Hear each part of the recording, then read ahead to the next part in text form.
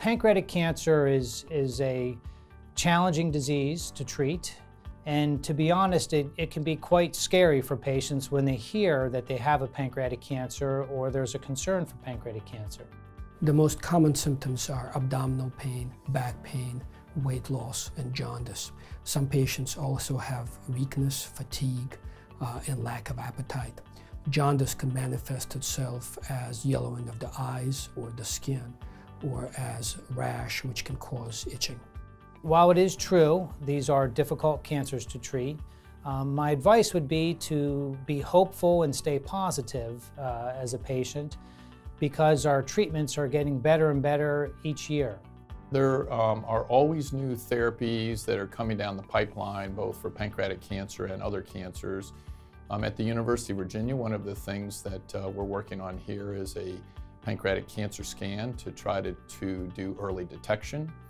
In addition, we have a high-risk pancreatic cancer clinic that is designed for people that are at increased risk for pancreatic cancer, so patients such as those with pancreatic cystic tumors, patients with a family history of pancreatic cancer, and those that have a familial um, or inherited uh, type of pancreatic cancer in their family.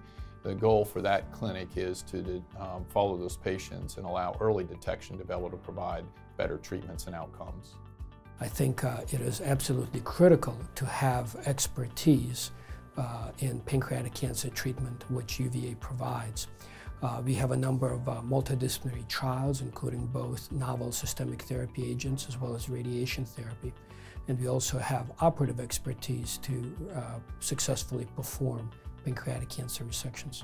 So it often requires multiple specialties um, taking care of the patient together to get the optimal outcome. And that's one of the advantages of coming to a place like the University of Virginia is all of those specialists work together in the same space. Um, we have a multidisciplinary team and we all meet uh, frequently to take care of patients with these complex problems like pancreatic cancer.